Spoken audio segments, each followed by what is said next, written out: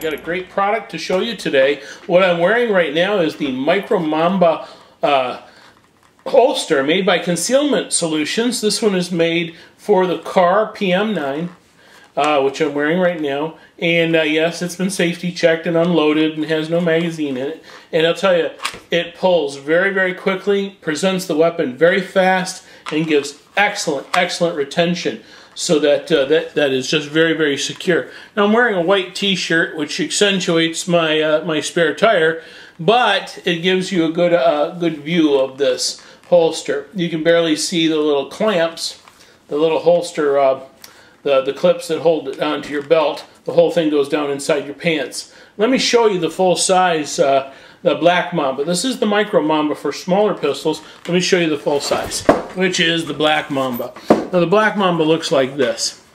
This one is for my 1911, which we're just going to put in here like this. There, the 1911 is in there. Look at that. Isn't that a beautiful holster? Holster uses two types of materials. One is the leather, which uh, which bends and forms and breaks in around your body and holds it nice and close to your body. The two belt clips, hopefully you can see this with my poor lighting, those clip onto the belt and the whole thing goes down inside your pants.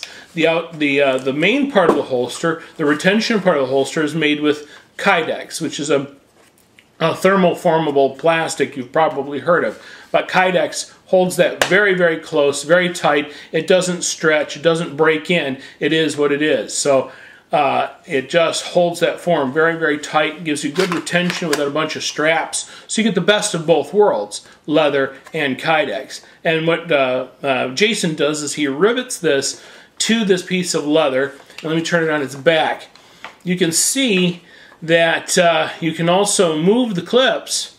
The belt clips can be moved to, to change the cant, or the angle as some people call it and or the depth of how far it sits down inside your pants. Now, when I first looked at this kind of uh, a holster, when someone showed this to me, I said, "You gotta, I gotta put this big leather frisbee down inside my pants. This is insane," and I, I wasn't too keen on it because I was very used to the traditional types of, of holsters. Once I tried it, made me a believer. I carry my my Kahr PM9 in the Micro Mamba. I often carry the 1911 Hopefully someday I'll get one for my Glock as well. Um, excuse me. So that's the two the two materials that I was going, I was discussing with you. Now just look at a little bit of the quality here. Excellent rivets here. Uh, the, the material, the, the leather on the back, this one's particular cowhide. You can get in horsehide as well. It is sealed and it is uh, uh, it is tanned on the back. It's stained and tanned uh, and sealed on the back. And this is really nice, gives a nice smooth surface. I'm going to show you one of his competitors. I'm not going to tell you who they are because they have lawyers, but I'm going to just give you an idea. This is the back of one of his competitors. The competitor hat is rough.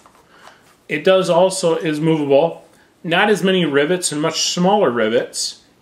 And it's really cut funny. Okay? It's cut oddly. I did not find this to be as comfortable. I wouldn't say this is a bad holster, but for the for the price, this compared to that, you can see the difference. You can really see the difference. I, I uh, also the clip material that is used, Jason uses is far, far, far superior to his competitor. I love this holster. I highly recommend it. Again, this is the Black Mamba. This is the Micro Mamba. They're made by Concealment Solutions. And uh, the company's owned by Jason Christensen. It's a small company, does excellent job. I think you'll love it. If you listen to any of the uh, podcasts on the uh, Gun Rights Network, they mention them all the time. Occasionally there's a deal here or there on them, but I highly recommend this holster. This holster is uh, one for lifetime, and I think you'll love it. And uh, hopefully you got something out of this today, and take care. We'll see you next time. Bye-bye.